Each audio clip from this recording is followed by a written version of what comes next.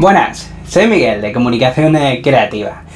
La productividad es algo vital en nuestra vida ya que nos ayuda a hacer la mayor cantidad de tareas eh, posibles en función de su importancia de forma eficaz en el menor tiempo posible.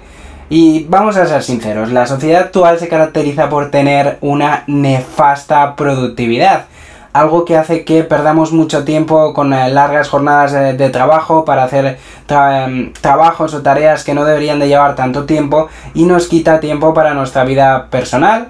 Eh, por una parte, para pasar tiempo con nuestra familia, eh, realizar deporte, llevar una dieta sana, cuidarnos, lo cual afecta tremendamente también a nuestra salud y también afecta a nuestro trabajo. Si nosotros tenemos una empresa, pues somos eh, menos eh, rentables y podamos estar aprovechando y optimizando mejor eh, nuestro tiempo. Así que tener una buena productividad es algo clave y vital para mejorar también nuestra calidad de vida en todos los sentidos. Así que hoy vamos a ver los 5 grandes consejos que nos dan los expertos para ser más productivos en nuestro día a día y en nuestro trabajo. Así que vamos con ello. Lo primero que necesitas es un plan. Necesitas eh, planificar todas tus tareas y todos tus eh, trabajos. Empieza por hacer una planificación teniendo en cuenta qué tareas son más importantes y cuáles menos, y cuáles son más urgentes y cuáles menos, eh, para saber qué tareas tienes que realizar primero y qué tareas tienes que realizar después en función de su importancia, su relevancia y su necesidad, si son más urgentes o por lo tanto no tienen urgencia o son menos eh, importantes. Esta planificación también nos ayudará a determinar qué tiempo nos va a llevar cada tarea y así saber qué tiempo vamos a necesitar y cómo vamos a organizar todos nuestros espacios de tiempo, todos nuestros horarios y tener claro qué tareas tenemos eh, que hacer y cuáles eh, realmente no valen para nada, porque muchas veces perdemos el tiempo en tareas y en trabajos que realmente no nos valen para absolutamente nada y es una pérdida total de tiempo. Así que planifica tus tareas, eh, organízalas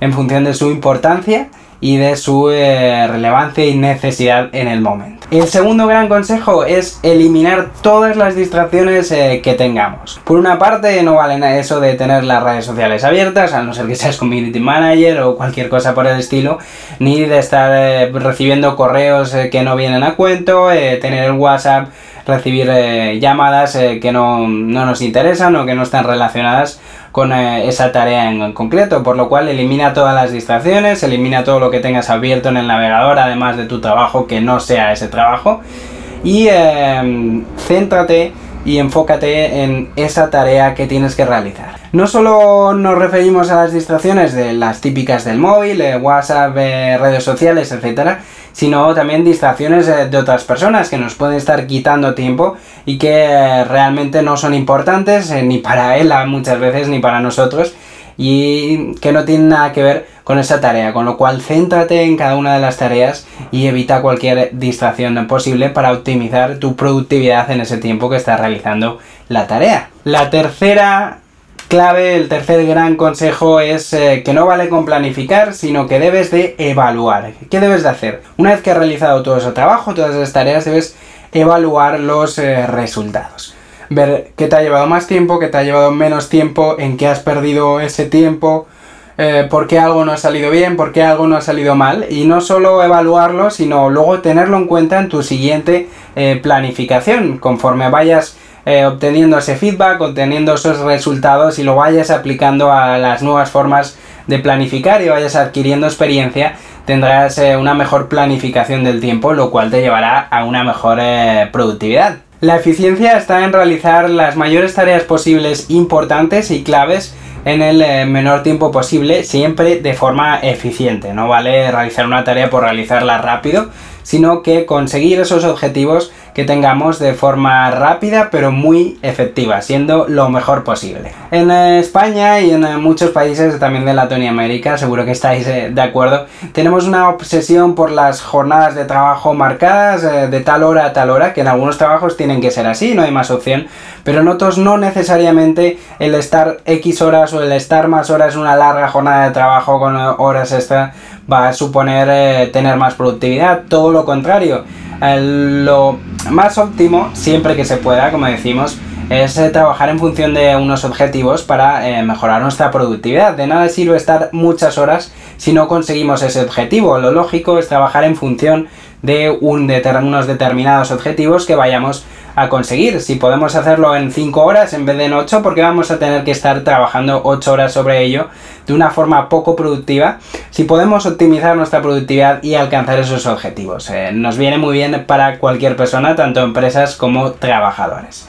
Eso sí, como decíamos, siempre que se pueda. Alguien que está en atención al cliente, eh, que tiene unas determinadas eh, tareas marcadas a ciertos horarios o muchos trabajos, pues esto no se puede aplicar. Pero muchos eh, trabajos de oficina, em, la, la asignación de objetivos es algo vital y algo que nos va a ayudar muchísimo. La cuarta es que el tiempo en la productividad tiene muchos usos y no solo debemos invertir todo nuestro tiempo en trabajar y trabajar durante el menor tiempo posible, sino que debemos de organizar nuestro tiempo en, eh, digamos, distintas eh, cuadrículas o distintos eh, apartados. En cada momento realizamos una acción y debemos de optimizar ese tiempo al máximo. Lo cual también nos lleva al quinto gran em, consejo, digamos, de los expertos, que es que los descansos son vitales. No podemos estar todo el rato trabajando, sino que debemos de descansar y de planificar también esos tiempos para el descanso y para la desconexión del trabajo. Las largas jornadas de trabajo, el eh, tiempo perdido de forma poco optimizada eh, nos llevan a tener mejor peor calidad de vida, eh, a tener que invertir más tiempo en el trabajo, menos en cuidarnos, en estar con la familia, lo cual se va haciendo una bola continua. Por lo tanto, es mejor realizar una jornada óptima y eh, dedicar luego tiempo para la vida personal.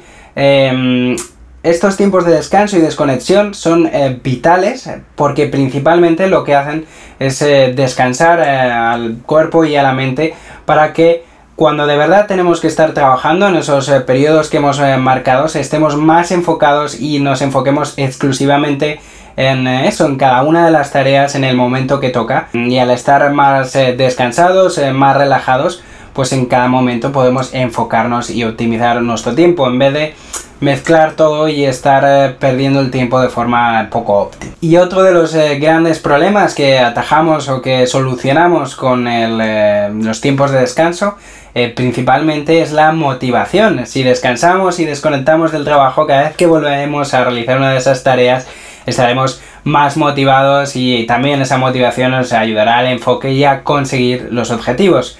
Eh, como decíamos, hay que conseguir los objetivos y no trabajar y trabajar tiempo perdiendo ese enfoque en la tarea y en el objetivo. Estos han sido los 5 eh, consejos que nos dan los expertos. Eh, puedes comentarme por ahí abajo también otros consejos que tú hayas visto, que consejos que a ti te funcionen, cómo lo haces y podemos crear debate. No olvides darle a me gusta si te ha gustado el vídeo y suscribirte que me ayudarías mucho. Puedes hacerlo por ahí abajo o te dejo el enlace eh, por aquí. Por aquí te voy a dejar también un vídeo que seguro que te va a gustar y te va a ser muy útil sobre el proceso creativo, algo que también está relacionado en cierto modo con la productividad y te va a ayudar mucho. Soy Miguel de Comunicación Creativa y nos vemos en el próximo vídeo. Hasta pronto.